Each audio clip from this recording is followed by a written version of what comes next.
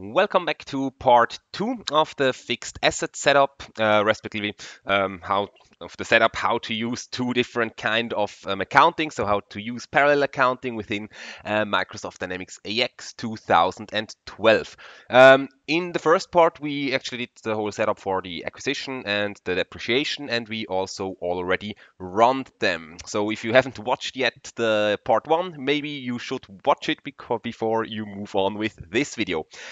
Great. So um, just a short recap. So where are we? So we have uh, made the acquisition and we made two depreciations. So for the local one and for the operations um, one as well. So we are at the state that we have a net book value in the local in the local um, GAAP.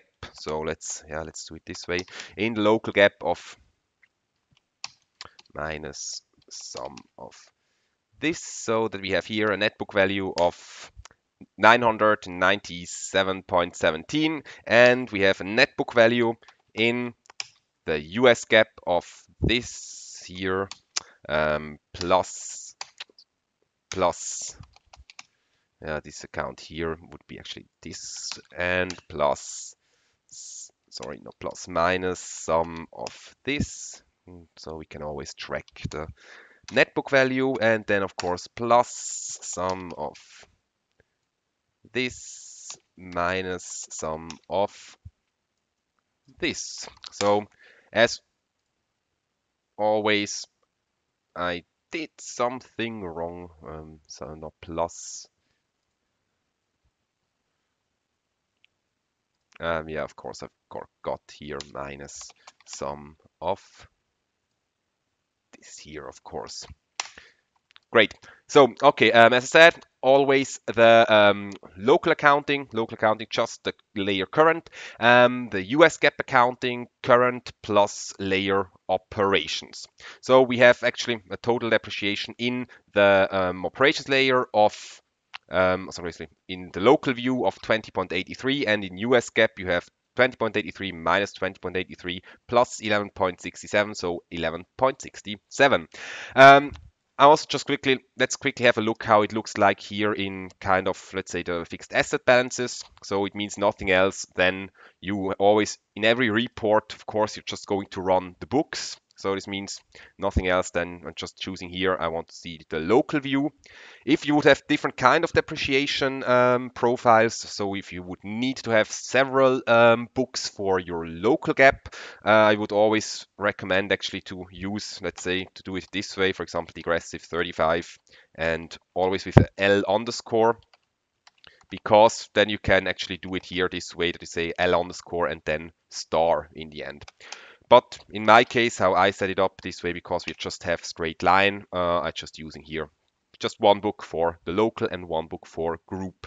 So it means nothing else than if I just run such kind of a fixed asset balance report, then I have in here, if I'm using here the book local, I do have exactly here the net book value of 979 and the depreciation of 20.83 so 20.83 and the net book value of 979.17 so exactly like I have here. And if I change here the book to the book US and if I rerun it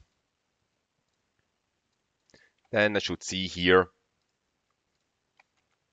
the 11.67 and the net book value of 988.33. Um, as I already mentioned in the prior part, never use the book set rlock because it's just a reversal. It is showing always exactly the same value as the local one. Um, yeah, but it is in the end totally redundant and not needed for any kind of thing. So in here we have, in here we should have uh, exactly the same figures as we have in the local one, so with the 20.83. Brilliant. So let's move on. So we are um, now going to uh, add the posting rules for the scrap, and um, that I don't need to do it um, two times. I'm also going to uh, set up the, the the sales and the scrap at once. So that I just need to yeah, I'm going to set up in the end just the sales one because it is exactly the same as in the scrap one, but just with one posting type more in the end. Good. So um, let's go back to the uh, fixed asset posting profiles. And so we already set up the acquisition, the depreciation. As I said, I'm normally not working with um, acquisition adjustments, also not with depreciation account um, adjustments, also not with revaluations, also not with write down, blah blah blah blah blah. Um, just in some cases with extraordinary depreciation. Um, why I'm not using those three those things because um, I haven't had yet the requirement. It was always that we could have just that we just did um, several acquisitions. In Switzerland, it's quite often. Also in other countries, I'm, nor I'm normally just using those types in here. Good. So let's come to disposal sales. um, yeah. So as always, it is the same logic as always. Let's add it first here the local one on group level and then the machines. And on the main account, I'm of course going to post it against the fixed asset accounts. And in the offset account, I'm using here the net book value. Uh, net book value, no, not the net book value. I'm actually going I'm actually going to use here, of course, the sales account because I'm on the sales one. So I'm choosing the 8100. So sales out of disposal from fixed assets or sales sales from fixed assets. Good. As I already mentioned in the first part, um, the set R log posting profile is always the exact opposite of the local one. Only if the fixed asset account is included, then it is the 99995. So in this case, the opposite here, 8, uh, 8100 is not the fixed asset account. Um, 1500 is the fixed asset account. Therefore, I'm going to use here the 99995. And the GRP, uh, not GRP, the US group MCH is always the exact same posting as in the local one, but as well, if there is the fixed asset account, then we are using the 9995. So 9995 against 8100. Great. I'm also going to add here directly the disposal scrap posting because afterwards in the disposal um, posting profiles, I'm just going to set up sales. Uh, in the scrap, it is exactly the same, but just with one posting um, type less. Good. Um, disposal, disposal scrap. So disposal scrap, well, it is in the end um, more or less the same as before more or less. So it's one main account is the same, so the fixed asset account, but the other account is not the same, so almost the same. Um, let's use here, of course, again, fixed asset account, and this time, of course, the net book value cost account. Um, well, again, the set R lock on group MCH, the exact opposite, only if it is the fixed asset account, then it is 9995, and US group machines um, 9995, and so it is always always the same. And if you have um, 20 thousand if you have 20 different fixed asset groups you can do it for each fixed asset group of course great. So um, yeah this is it with the with these posting types in here. But of course since there are automatically other posting types involved in um, a disposal we also need to set up here um, the disposal the disposal um, posting postings. So um, this means here nothing else than let's add first here the local again. So but posting type by posting type. So I'm actually normally, as I'm always working actually just on netbook values, um, on scrap, I'm just going to use three posting types because I'm always going to put all the depreciations back onto the fixed asset account at first. And the second one would be then to transfer the net book value from the fixed asset account down to the net book value account. So in the end, in the end, what I'm what I'm going to do with, my setup, I'm going to show you is that AX is just going to put the whole accumulated depreciation. So just quickly mark it somehow like this, uh, back to the fixed asset account. And in a second step, he's going then to move the net book value account, the net book value amount from the fixed asset to the net book value cost account. So of course, I'm just showing you now in the in the uh, local in the local layer. Um, in here, it is in the end then more or less um, just a difference then, of course. So this is basically logic how I'm going to set it up. Therefore, I just need to have um, three posting types for scrap and four posting types, of course, the sales value for the sales then. So just one posting type more in the end. Just going to quickly delete those again. And so, okay. Yeah, so just to show, to just to tell, just to tell you what I'm going to do. I'm not going to distinguish between um, loss and gain. Um, what you always have to do is to set up the post where the, the depreciation for prior year and this year because there's quite often the case that you have um, depreciations from prior year. Good, so for the depreciation, let's start um, with that. We are going to use here on main account, we are using the accumulated depreciation account and we are going to add it onto the fixed asset account. As I said, just going to move it from here up to here. Um, well, for the set R lock, whoops, for set R lock, the same logic as always. Uh, if it is also the exact opposite, if it is the fixed asset account 995, if not, then the real account. Good. And for and for the um, US value model,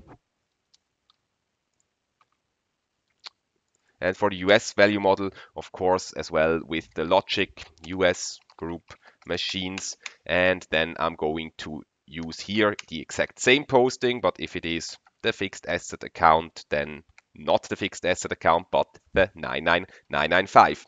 Um, I need to do exactly the same for the depreciation of this year. So 1509, 150915 here in local set rlog group machines. Um, this year would be 9995, 159 and US group.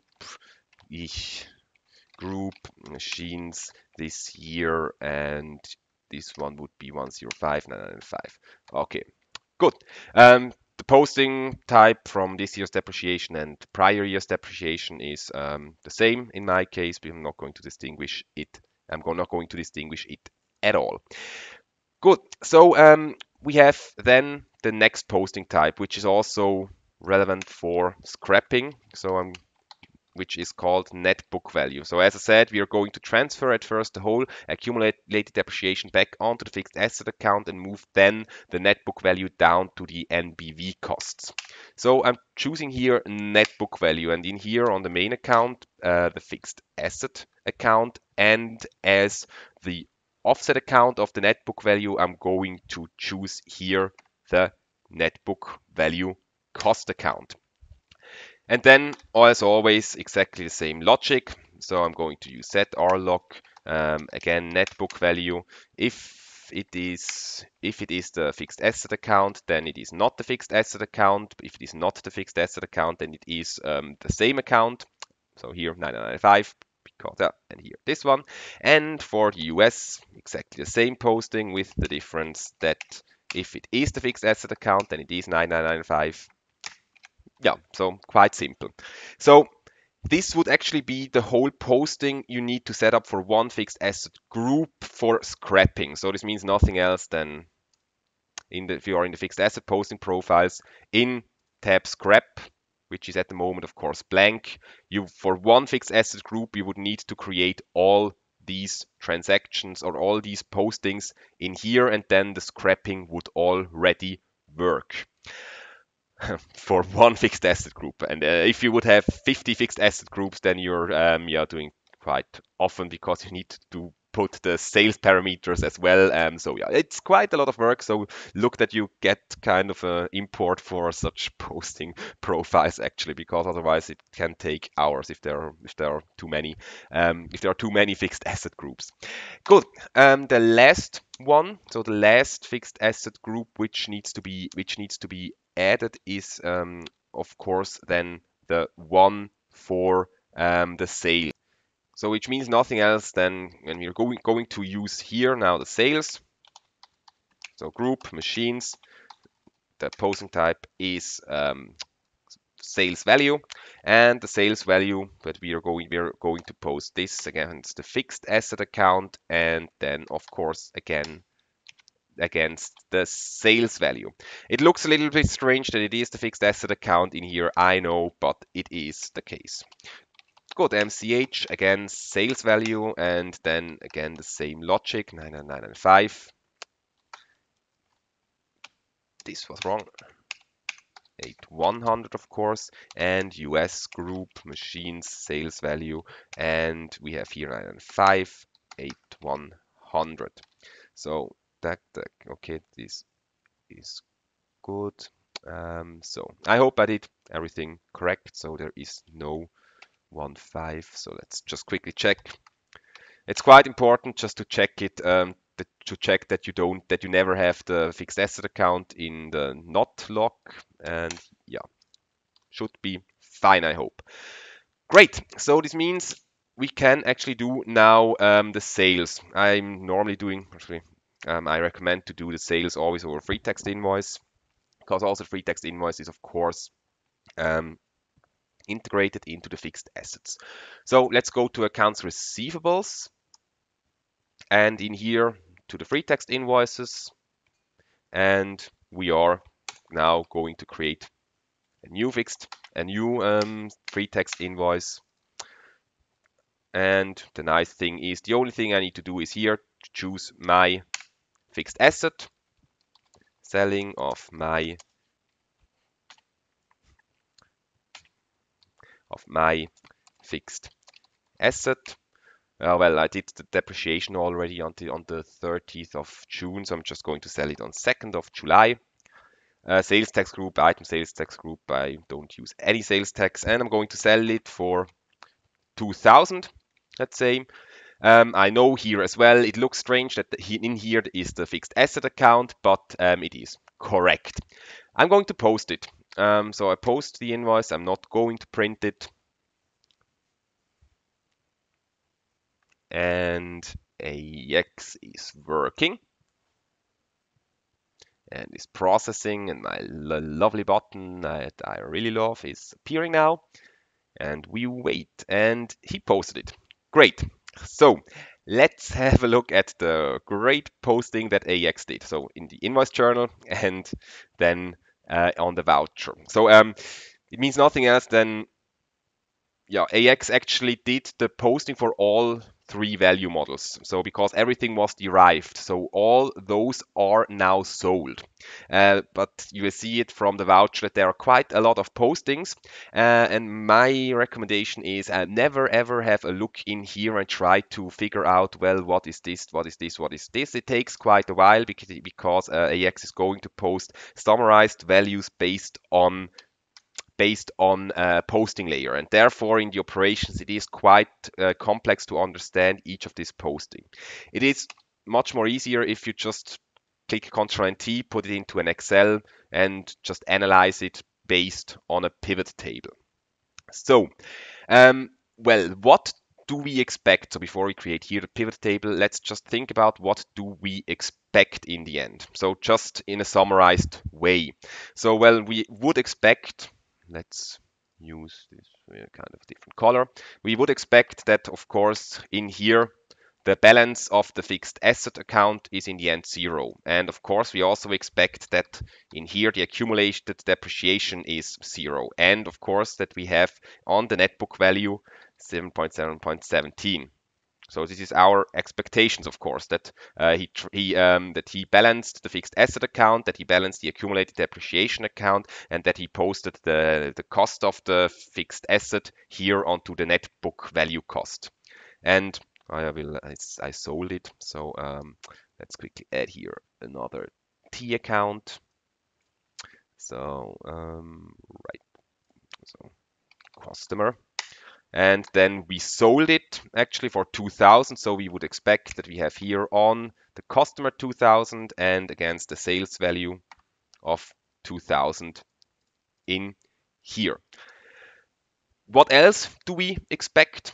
Well in the operations layer we would expect that um, 99995 mm, nothing because there is nothing to do in here. But we would expect that he is going actually to balance the accumulated depreciation. So because here net book value is uh, 988.33 so a little bit higher than in here. So we would end we we would expect that from a US GAAP perspective that we have a net book value on the net book value cost of 988.33. Um, therefore, we ex would expect here then, of course, the posting of just the difference because once again, uh, operations layer is just the difference between local and the US GAAP, which means nothing else that we would expect here that he's going to post um, this minus this, so 9.9.16, um, 9.16. And then of course the net book value didn't change, so let's say 17, let's say 18. So okay, and this one should be then, of course, against the net book value costs. So this is actually our expect expectations because this would mean nothing else than before we had a net book value of 988 in US GAAP layer and now after that as from a US GAAP perspective we have here 979.17 plus 9.16 which is then exactly the net book value which we had before. So Let's go to the Excel and have a look at it. Um, I normally do it here, so I just put the amount here to the values. I'm using here the main accounts and important use here the posting layers as columns. And maybe let's use here a better format. Great. So uh, let's compare it.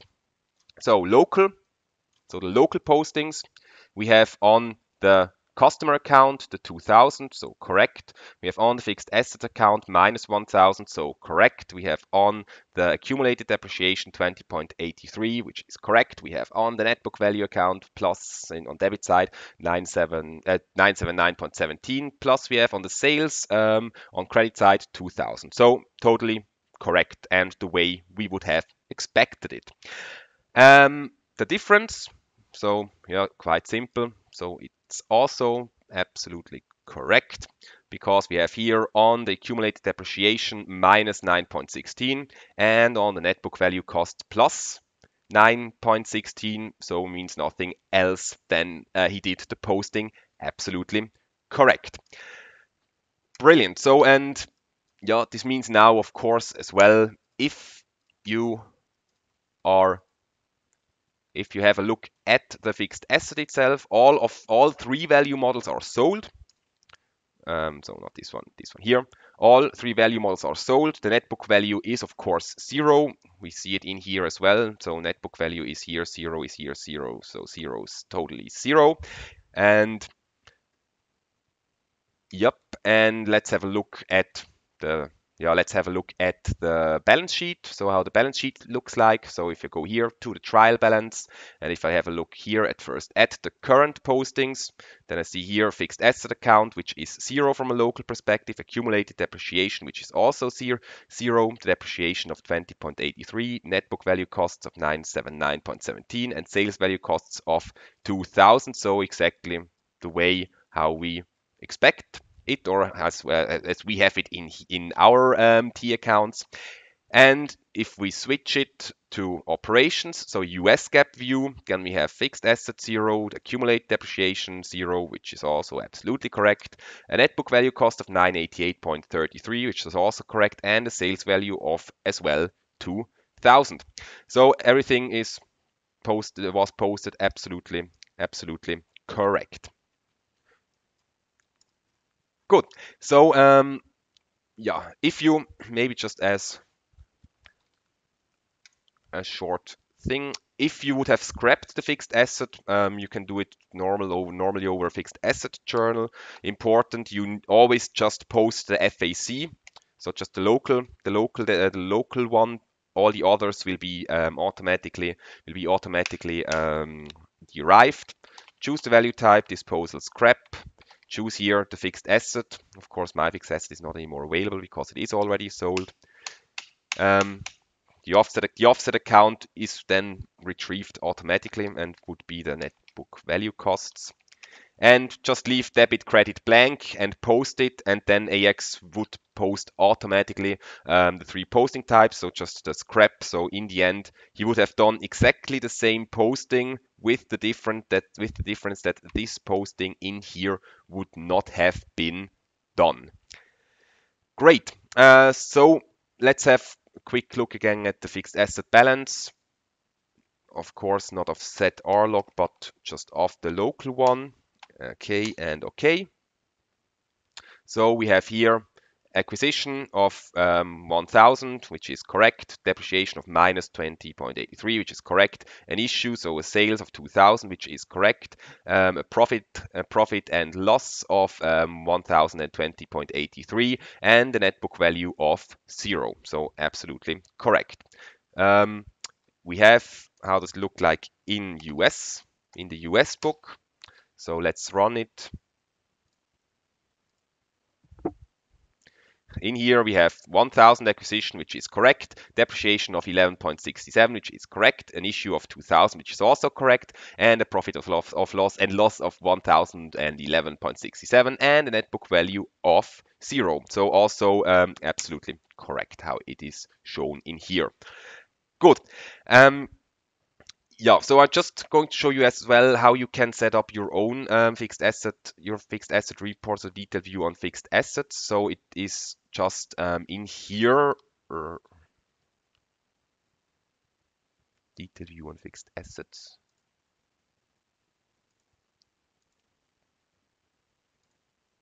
Um, detailed view on fixed assets. Mm. Let me just quick check something. okay, um, well, it seems that that um, the detailed view on fixed asset report is not standard AX, and I'm working here really with um, a total um, standard AX. So, uh, well, in standard AX, there is actually not really a dynamic fixed asset report available as I see. So just this totally crappy um, report with fixed asset statement rows where you can add here a header. And um, your fixed assets or any kind of group and you can add here a total and then you can go to totals and you can't even add here a real filter. You, because you cannot say here till 9 because you always really need to add here a fixed asset. Uh, and then you are able to print this brilliant report fixed asset statements where you can choose here the row name. Um, and then or no you don't even need to add it in here. Um, but the post you can choose here then the posting layer or respectively the value model is maybe better so that you use here local and okay and okay. And then you have here this pretty nice looking um, report which is in the end showing more or less nothing so totally crappy. Uh, yeah, so uh, well, it looks like it is really the case that this is the best, um, the most dynamic uh, fixed asset report in standard AX. Uh, so sorry, I cannot show, of course, this scale in this way the um, uh, better report. So maybe you can use then this one, uh, fixed asset balances. Of course, you always have the possibility in here to go to the fixed asset transactions and analyze it in Excel. So for example, if you use here um, local, then you can actually also analyze it with those figures which you have in here. Good. Um, yeah. So I'm since since I'm um, since I'm showing you actually not only fixed asset but the whole logic of the different um, layers, I'm also going to show you how you can do kind of um, just manual posting. So this was just the fixed assets. Uh, so let's assume, for example, that you have I'm just quickly going to delete here these things again. So, and I'm also, yeah, let's quickly delete everything in here and also these kind of things. So let's just say you have a kind of, a, you have any kind of account, doesn't, doesn't matter at all. You have here um, kind of an accrual account. Accrual and any kind of does, doesn't matter actually doesn't matter at all. Um, financial income doesn't matter doesn't make sense doesn't make sense at all. Um, let's yeah maybe let's use let's allowance allowance for doubt full doubtful depth and then kind of a cost account.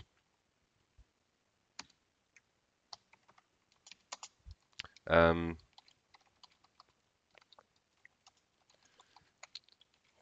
count number is totally wrong, but anyhow, so, okay, good. So let's assume we have we have two cases. So, for example, you have um, here another another kind of posting where you have any kind of retention retention something and again against any kind of cost account cost for I don't know.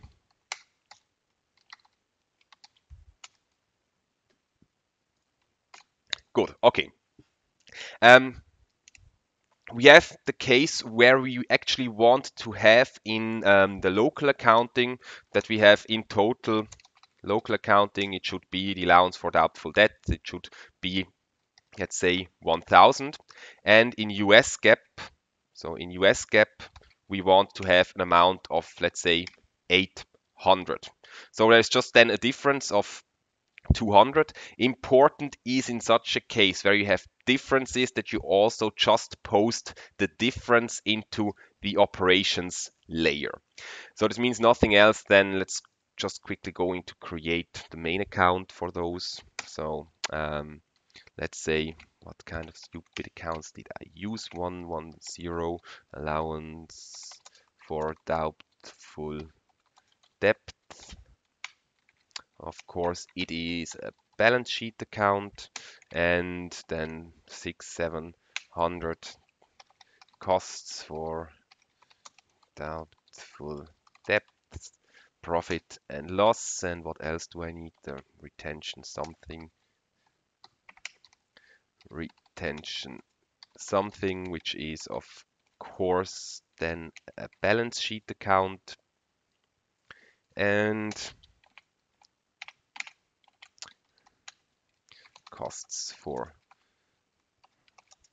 I don't know so okay good now let's have a look at the first case. So you have um, you have local in the local accounting, you want to have 1,000 on the allowance for doubtful debt, and from a US perspective, there are just 800. So this means, first of all, what you need to do is, well, you just need to create at first a normal general journal. Important is general journal in this case is posting into layer current. You cannot change it here here um, in this because it is grayed out. So it is always in the layer where the journal name in the end is going uh, is set up. So in this case into the layer current. So I just add a line and I say then here allowance for doubtful debt 1000 1000 against the six, seven costs for doubtful debt with the cost center.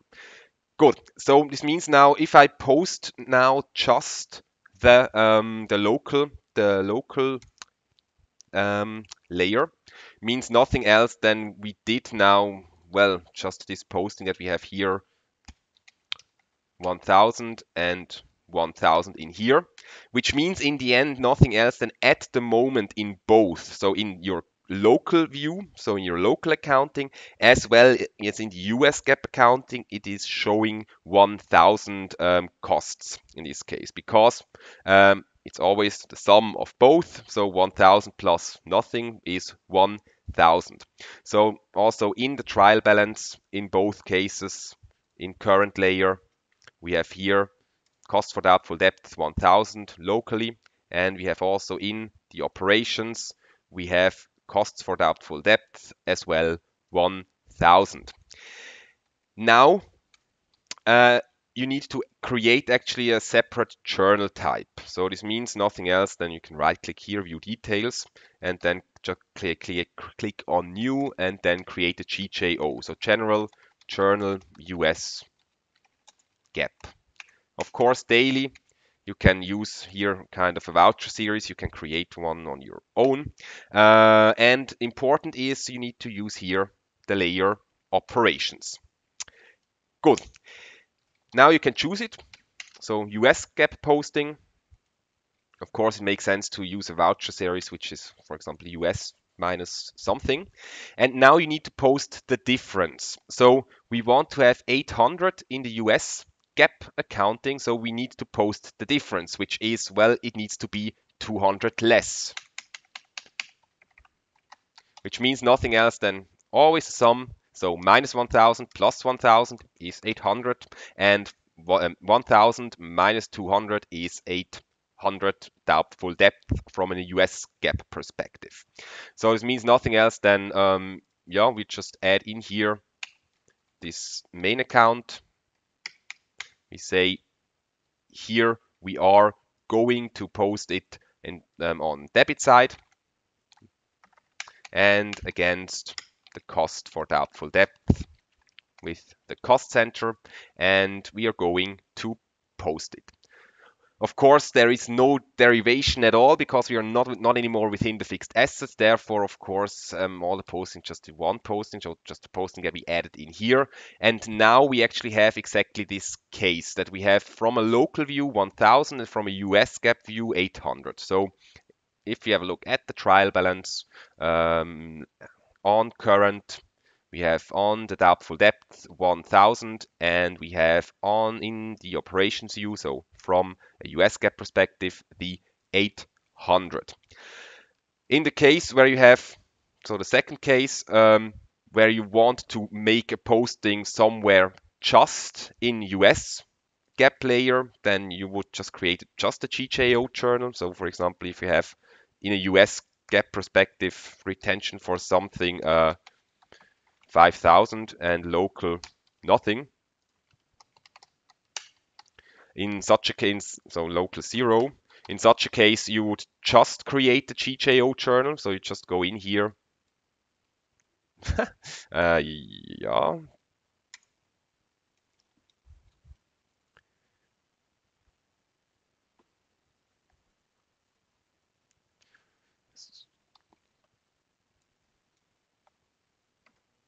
So you just go in here, create a GJO journal. Um, go to lines and then you would add so it is you would add here the retention for something with the 5000 that I've set and against the costs I don't know and then he would just post one posting in here, so 5,000 and 5,000. So this would be quite quite simple. Uh, in the other case where it is like this, so you have 5,000 here, but you want to have zero in the US GAAP layer, well, what would you need to do in such a case? Well, the same as before actually. So you would need to, to create at first a GJ journal so retention, six, seven costs four. I don't know. And then post this one here, just in the local layer. But at the time now, we would have um, in US as well 5,000. We would have now in uh, the local in the local GAAP we would have 5,000, and in the US GAAP we would have 5,000 uh, minus nothing, so we would still have 5,000, so not yet zero. Therefore, you always need you would need to reverse um, this posting in the US GAAP layer, just that you get in the end the difference. So 5,000 in here, six, seven costs for I don't know, and the cost center and post it and then it would be correct again.